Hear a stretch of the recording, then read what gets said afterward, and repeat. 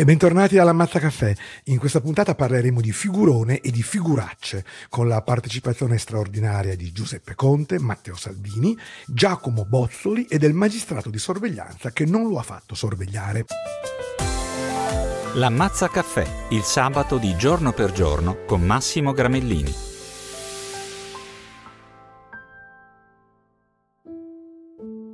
Ma prima di parlare delle altre figuracce, ritorniamo alla madre di tutte le figuracce, l'eliminazione ingloriosa dell'Italia agli ottavi di finale degli europei.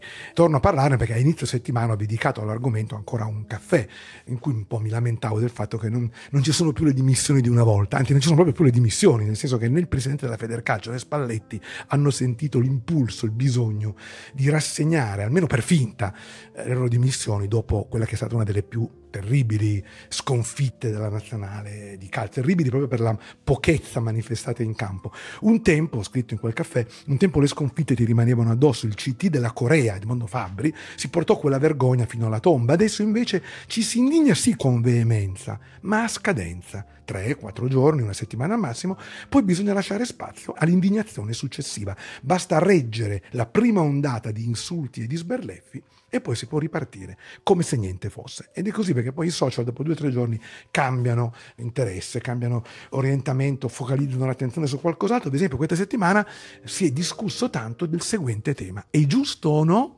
che i genitori accompagnino i figli all'orale della maturità?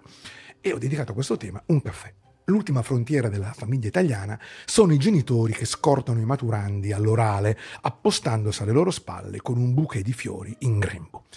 L'indignometro dei social è stato invaso dal partito di maggioranza assoluta del paese, i nostalgici, per i quali ai miei tempi, tra virgolette, la maturità era un rito di iniziazione all'età adulta, da vivere senza codazzo di parenti al seguito.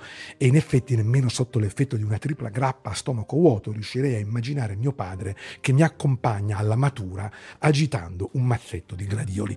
Qualche indignato politicamente orientato circoscrive la nuova moda ai famigerati benestanti dei centri storici, sostenendo che il genitore arrabbiato di periferia mai si presenterebbe all'esame del figlio e comunque mai si porterebbe dietro un mazzo di fiori, al limite una mazza da baseball. Ma alla schiera sterminata dei nostalgici si contrappone fieramente l'immancabile partito dei cuoricini, una romantica minoranza che non vede niente di male nell'affettuoso sostegno del clan familiare all'epica impresa. Chi ha ragione? Come sapete lo schema dei social non prevede sfumatura. Ogni questione va spaccata in due, come una mela. Ma per i pochi che si riconoscono quasi sempre nel torsolo, una volta li chiamavano terzisti, sopravvive appunto una terza opzione, quella liberale. La scelta, qualunque essa sia, non può che spettare ai protagonisti dell'esame, i figli. Senza il loro consenso, dunque, è meglio restare a casa, collegati con gli altri genitori sulla chat, maturanzia, che esiste davvero. I commenti dei lettori. Mario scrive: Con il senno di poi penso che ai miei genitori avrebbe fatto piacere assistere alla maturità, però chissà come si sarebbero sentiti, sarebbero stati gli unici a quell'epoca. Dal mio punto di vista, comunque, conclude: è meglio che i ragazzi la vivono con i loro amici. Paolo invece scrive: I miei a momenti neppure sapevano che io stessi facendo la maturità. I giovani di allora erano più indipendenti di quelli di adesso e forse anche più sicuri di se stessi. Io non vedo per nulla positiva la presenza dei genitori questi figli sono degli eterni bambini. Roberto Ferrari invece gli risponde proprio sostenendo la tesi opposta, non sono i figli ad essere eterni bambini, dice lui, ma semmai sono cambiati gli adulti che con le loro ansie e insicurezze risultano inadeguati nel ruolo di genitori. Chiuderei, ci sono tanti altri messaggi, non solo con i genitori, ma anche dei nonni, perché c'è un messaggio anche di nonna Agata che dice ieri, con i genitori dei miei nipoti, siamo andati all'esame di maturità ed è stata un'esperienza bella, significativa, rassicurarli, ascoltarli, sostenerli, incoraggiarli. È un regalo che i nipoti fanno ai nonni. Per noi è stato come toccare il futuro. E sono sempre più convinto, anche dopo aver letto i vostri messaggi, che l'opzione terzista sia la migliore, cioè assolutamente libertà di scelta, ovviamente, e lasciata però la decisione ai ragazzi. Cioè, se un domani mio figlio mi dirà non, non ti voglio fra le scatole alla maturità, io non ci andrò. Mi metterò in casa sulla chat o chissà quale strumento ci sarà a quell'epoca per palpitare in silenzio e in solitudine. Andiamo avanti, però invece con le vere figuracce della settimana. Questa settimana ho dedicato un caffè al conte di San Giuliano. Se esistesse un governo ombra, il ministro della cultura non potrebbe che essere Giuseppe Conte. L'altra sera si è lasciato andare a rivelazioni davvero importanti. Nel 2026 ha detto, a Bologna c'è stato l'attentato a Matteotti. Ora l'unica parola giusta di tutta la frase era Matteotti. Un passo avanti rispetto all'anno scorso quando durante un dibattito parlamentare lo confuse con Andreotti, ma ancora troppo poco per superare l'esame di terza media. Matteotti infatti non subì un attentato ma un sequestro nel corso del quale venne ucciso a Roma, non a Bologna e non nel 2026 e neanche nel 1926, ma nel 1924. Infatti quest'anno all'insaputa di Conte si commemora il centenario. Il timore è che si inneschi una dotta disputa con San Giuliano, il quale potrebbe spostare il delitto Matteotti in Cambogia e attribuirlo ai Khmer Rossi. Ma nemmeno il ministro con delega alle GAF riuscirà mai a competere con quella che Conte rimediò da presidente del Consiglio, inaugurando con un discorso scritto la Fiera del Levante a Bari.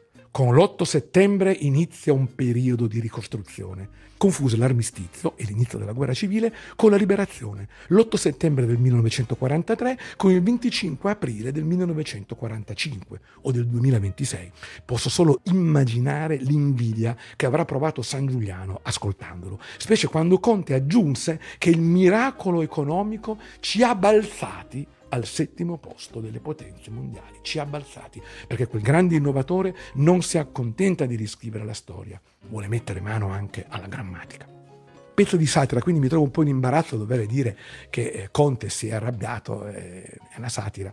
E comunque, insomma, nella post su Facebook che ha fatto, ha detto, io semplicemente è stato un lapsus, mi sono confuso, non volevo dire Matteotti, volevo dire Mussolini, che qualcuno potrebbe dire, peggio mi sento se confondi Matteotti con Mussolini. Ma vabbè, però diciamo che eh, non ha detto nulla sulla seconda metà del pezzo, cioè la confusione fra 8 settembre e 25 aprile, che è molto molto seria, e mi pare che non, non possa essere etichettata come una gaffa staff, anche questa. Mi hanno colpito i commenti dei lettori perché purtroppo, dico purtroppo perché è una cosa che non mi piace, sembrano reagire in base all'orientamento politico, cioè chi vota per il centrodestra gongola e invece chi vota per il centrosinistra difende Conte, anche se ha fatto una gaffa. Per esempio Paolo mi scrive teniamo l'attenzione sui San Giuliano, sui Salvini, sui Sant'Anché che stanno portando in malora l'Italia, non sulla gaffa di una persona che almeno di un po' di cultura e classe ce l'ha. E qui mi domando, ma chissà se arriverà mai un giorno in cui lasceremo, scenderemo dalla curva degli ultra e impareremo a sorridere anche dei nostri errori e di quelli delle persone per cui facciamo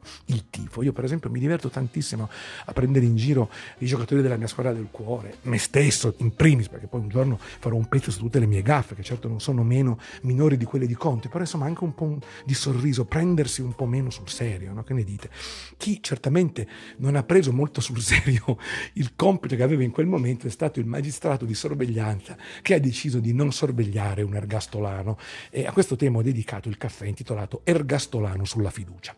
Essendo cresciuto con le tribune politiche di Iader Jacobelli, rimango infastidito dalla propensione di alcuni membri del governo a dire la loro su qualsiasi argomento, neanche avessero una rubrichetta sul giornale. Apro una parentesi, un asterisco, cosa che non si può fare sul giornale, per dire a chi ha meno di 50 anni che Iader Jacobelli era il conduttore conduttore delle tribune politiche della RAI che per tantissimi anni, lo so che oggi si stenta a crederlo, erano l'unico momento in cui si parlava di politica in televisione, c'era un solo politico e i giornalisti che facevano delle domande cronometrate nel tempo. Ecco, adesso si parla più di politica, però non ci sono più le domande dei giornalisti, nel senso che i leader politici non si presentano proprio più a questi incontri con i giornalisti e preferiscono invece andare nei talk a scannarsi tra di loro, però poi alla fine non si capisce mai niente. Torniamo dentro il pezzo, però si fa fatica, diciamo, dopo aver detto appunto che non mi piacciono questi ministri che intervengono su tutto, però si fa fatica a non essere d'accordo con quel che ha scritto ieri un ministro su Twitter. Cito, un ergastolano è in fuga da giorni perché nessuno si era preoccupato di trattenerlo, nonostante la condanna per aver ucciso lo zio gettandolo in un forno. E sì, ce lo siamo chiesti in tanti, il fuggiasco Giacomo Bozzoli aveva già due verdetti di colpevolezza sul groppone, certo, continuava a proclamarsi innocente e a presentarsi regolarmente alle udienze, ma molti lo descrivevano come un lucido manipolatore. Possibile che ai magistrati non sia passato per la testa di farlo sorvegliare dai carabinieri? Almeno alla vigilia della pronuncia definitiva della Cassazione? E invece hanno lasciato l'esecuzione della sentenza al suo buon cuore e lui ha pensato bene di tagliare la corda con la compagna e il figlio. I giudici giustificano la loro inazione dicendo che non c'era pericolo di fuga, hanno ragione, nessun pericolo, c'è stata direttamente la fuga. Per carità, sempre meglio un colpevole in libertà che un innocente in galera. Il guaio è che in un sistema gestito con questa superficialità una cosa non esclude l'altra. Post scriptum. Apprendo solo ora che il ministro con cui mi trovo d'accordo sarebbe Salvini. Confermo tutto, eh, ci mancherebbe. Però domani torno dall'analista. E vabbè, Margherita Zanol mi dice, ne dicono talmente tante che una giusta a forza di dai e dai ci sta, riferendosi alla, al tweet di Salvini.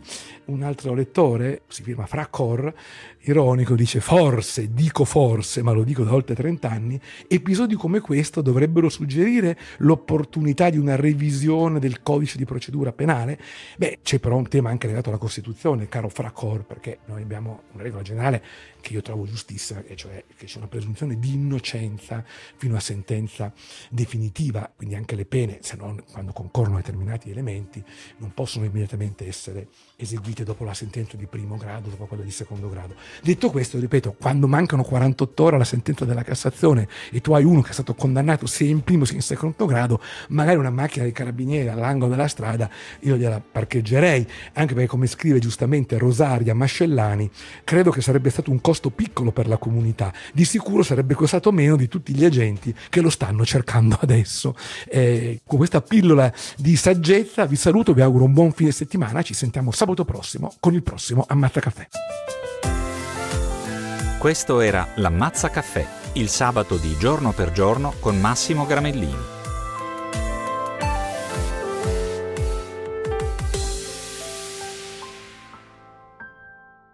Giorno per giorno è il podcast quotidiano del Corriere della Sera a cura di Francesco Giambertone, coordinamento di Tommaso Pellizzari, produzione di Carlo Annese con Manuel Iannuzzo.